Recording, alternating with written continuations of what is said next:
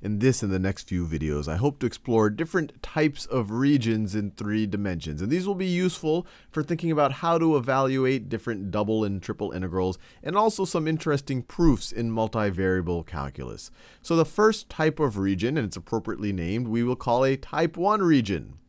Type, type 1 region. At first, I'll give a formal definition. Hopefully, the formal definition makes some intuitive sense. But then I'll draw a couple of type 1 regions, and then I'll show you what would not be a type 1 region, because sometimes that's the more important question. So type 1 region, maybe the type 1 region R, is the set, and these little curly brackets mean set. It's the set of all x, y's, and z's. It's the set of all points in three dimensions such that the x and y's are part of some domain. So the x and y's are part of some domain, are a member, that's what this little symbol represents, are a member of some domain. And z can essentially varies between two functions of x and y. So let me write it over here. So f1 of x, y is kind of the lower bound on z. So this is going to be less than or equal to z, less than or equal to z, which is less than or equal to the another function of x and y which is going to be less than or equal to f2 of x and y. And let me close the curly brackets to show that this was all upset. This is a set of x, y's, and z's, and right here we are defining that set. So what would be a reasonable type 1 region? Well, a very simple type 1 region is a sphere. So let me draw a sphere right over here. So in a sphere, where it intersects the xy plane, that's essentially this domain D right over here. So I'll do it in blue. So let me draw let me draw my, my best attempt at drawing that domain. So that this is the domain D right over here for a sphere. Well, this is a sphere centered at 0, but you can make the same argument for a sphere anywhere else. So that is my domain. And then f1 of xy, which is a lower bound of z, will be the bottom half of the sphere. So you really can't see it well right over here, but it would be it would be these contours right over here would be on the bottom half. And I can even color in this part right over here.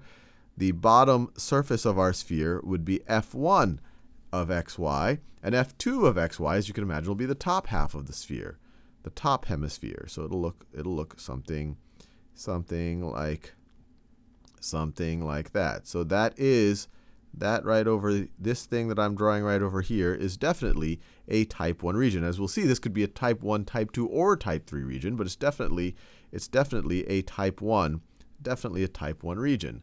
Another example of a type 1 region, and actually this might even be more obvious. Let me, let me put some, draw some axes again, and let me draw let me draw some type of a cylinder. And I'm not going to make, just to make it clear that our domain, where the xy plane does not have to be inside of our region, let's imagine a cylinder that is below, that is, well, actually, I'll draw it above, that is above the xy plane. So this is the bottom of the cylinder, it's right over here. And once again, it doesn't have to be centered around the z-axis, but I'll do it that way just for this video. Actually, I can draw it a little bit better than that. So this is the bottom the bottom surface of our cylinder, and then the top surface of our cylinder might be right over here. And these things actually don't even have to be flat. They don't have to be, they could actually be curvy in some way. And in this situation, so in this cylinder, let me draw a little bit neater.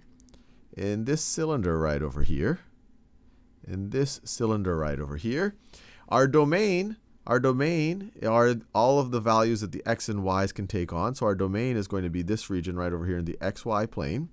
And then for each of that those xy pairs, f1 of xy defines the bottom boundary of our region. So f1 of xy is going to be this right over here. So you give me any of these x, y's in this domain D, and it course, and then you evaluate the function at those points, and it will correspond to this surface right over here.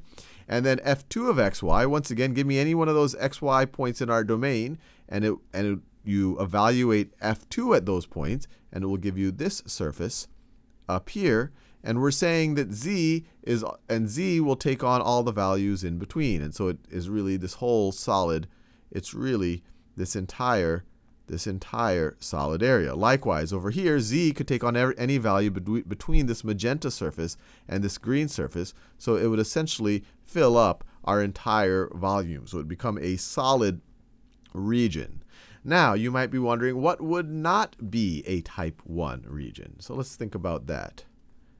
So it would essentially be something that we could not define in this way. And I'll try my best to draw it. But you can imagine a shape. You can imagine a shape that does something funky like this. So there's like one big, I guess you could imagine a, a sideways dumbbell. So a sideways dumbbell, I'll maybe curve it out a little bit. So maybe it's, so this, this is kind of the top of the dumbbell, and then it, or an hourglass, I guess you could say, or a dumbbell. It would look something like that. So I'm trying my best to draw it. It would look something like that. And the reason why this is not why this is not definable in this way, it becomes obvious if you kind of look at a cross section of it. There's no way there's no way to define only two functions that's a, a lower bound and an upper bound in terms of z. So let me so even if you say, hey, maybe my domain, my domain will be all of the x, y values that can be taken on. Let me see how well I can draw this. So you say my x, y values. Actually, let me try to draw this whole thing a little bit better. better attempt. So you might say, okay, for something like a dumbbell, let me clear out this that part as well. For something like a dumbbell, so let me erase that. So for something like a dumbbell, maybe my domain is maybe my domain is right over here. So these are all the x, y values that you can take on. But in order to have a dumbbell shape, in order to have a dumbbell shape, for any one xy, z is going to take on, there's not just an upper and a lower bound, and z doesn't take on all values in between. Let, let me just draw it more clearly. So our dumbbell, maybe it's centered on the z-axis. This is the middle of our dumbbell. And then it comes out like that. And then up here, the z-axis, so it looks like that. And then it goes below the xy plane, and it does kind of a similar thing it goes below the xy plane and looks something like that. So notice, for any given xy, what would be, if you attempted to make it a type 1 region, you would say, well, maybe this is, this is the top surface. And maybe you would say, down here is the bottom surface. Down here is the bottom surface. But notice, z can't take on every value in between. You kind of have to break this up if you wanted to be able to do something like that. You would have to break this up into two separate regions where this would be the bottom region, and then this would be, and then this right over here would be another top region. So this dumbbell shape itself is not a type 1 region, but you could actually break it up into two separate type 1 regions. So hopefully that helps out. And actually another way to think about it, this might be an easier way, if we just draw, if we were to look at it from this direction, and if we were to just think about the zy if we were to just think about what's happening on the zy plane, so that's z, and this is y right over here, our dumbbell shape, our dumbbell shape would look something like this. Our dumbbell shape would look something like this. My best attempt to draw our dumbbell shape. And so if you get an, a, a given x or y, maybe x is even 0, and you're sitting right here on the y-axis, notice z is not, even up here, cannot be a function of just y. For on this top part, there's two possible z values that we need to take on for that given y. Two possible z values for that given y. So you can't define it simply in terms of just one lower bound function and one upper bound function.